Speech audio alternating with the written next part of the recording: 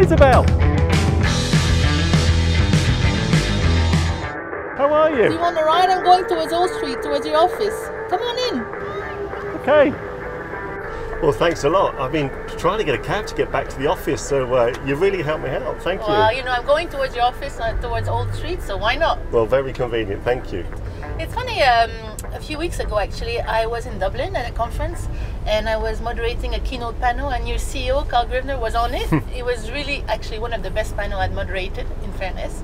And uh, we were talking about digital transformation, of course, and uh, the impact or the opportunities, the challenges that came from the digital transformation in our industry. Right. Uh, so I guess everyone's talking about that. What's your view? I'm, I'm a bit curious to know. what do you think this will change in our industry? Will it change the role of the carrier at all? What, Right. what do you think? Well, I heard about your uh, panel, so congratulations, well done. Clearly, it's a, a big uh, topic of the moment, um, and uh, I think one for carriers, for us, you know, we can play a very important role in transformation. And I guess what we've been seeing for the last four, five, six years or so is companies looking to take advantage of new tools to change their business. Right, they're deploying new cloud applications because they can be deployed more quickly. They can take out cost. It makes them more agile. You see them looking to take advantage of the power of big compute and marry that with data analytics and marry that with AI to again make their processes more efficient and more effective. You see companies looking to use e-commerce more effectively and be online. That enables them to get into new markets and access new customers. So I think we've got a big role to play. In, in Colt, we speak of using our network as a platform. Uh, and what we're looking to do is use our high bandwidth agile network to make sure companies can reach the data centers they need, reach the customers they need. We sort of go from two extremes. We have the extreme of being able to mm, support the very high bandwidth requirements of data center to data center, but also through our 27,000 buildings we've got on net, we can bring customers and end customer locations back to that data center, back to the cloud service providers. An exciting time, I Yes. think. If you can really harness that, I think it's going to be really good for the service providers and the carriers, I guess, supporting them. Indeed. And talking about excitement, obviously, you know, I'm going to come up with 5G. Yeah. you know, everyone's getting excited or maybe a bit overexcited about 5G. But I think it's, I think it will be a, a trigger for change in our industry and a trigger for change maybe for carriers as well, that can address that opportunity. But I don't know. What's the role of carriers in 5G? Is there one, and how do you see that Yeah, yeah, no, and I think, look, it's clearly another big buzzword. We're going to hear about 5G mm. more and more.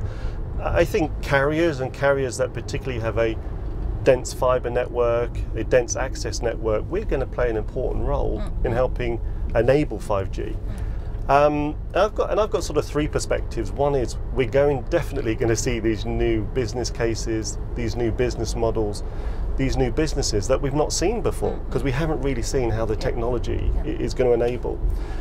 But my colleagues tell me this is going to be a journey. It's not just an overnight upgrade. It's an evolution. It's an important evolution, and so it's going to take new standards, new investment, new devices to really see the power of 5G, and that's going to be a three, four, five-year journey. Um, but what I'm also clear on is to get the full benefit of this high bandwidth, low latency network. The network edge is going to have to be much closer to the customer, and the network cell sites are going to need to be closer to the customer, the device, the building, the vehicle. And that edge is then going to need to connect onto high bandwidth and reliable network And edge, I think, is the new buzzword of 2019, added to all the other buzzwords. and I'm all I'm learning all about it. I'm definitely not an edge expert, but I think it's a very interesting place for carriers to play a new role in. I think, and uh, I mean, we haven't met for a while now, and I'm a bit curious. You know, I've been I've been following you, obviously, but what are the new exciting things you can share with me? What's going on in your roadmap? You know, what has Yes. been happening since we've met last? Well, You know me, I always like to know the secrets. well, well, I think the last time we met was nearly a year ago. We were just announcing our uh, expansion into North America. So we've by and large completed that. We also announced an expansion into Eastern Europe, uh, an expansion of our metro into key digital hubs such as uh, Berlin and Dublin. Also uh, extended the IQ network out to Sydney in Australia. And what that is really doing is extending that digital platform that I talked about, uh, providing connectivity to more data centers, more customer buildings, more key digital hubs, so customers and our partners can use that to help their business. So that's that's very busy for us.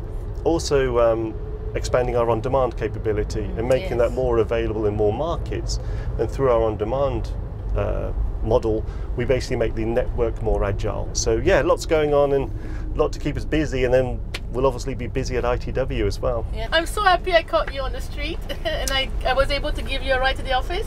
well thanks a lot again and it's been great catching up and you really helped me out thank you Thank you and lovely to see you again. Take care and travel safely to Atlanta. see you in a couple Be of careful, weeks you might see me in your plane. hope so yeah thanks a lot driver that was really good appreciate it Cheers. Have a good day. See you again. Thank you so much for stopping at his office, by the way. I wonder who else I'm gonna find on my way.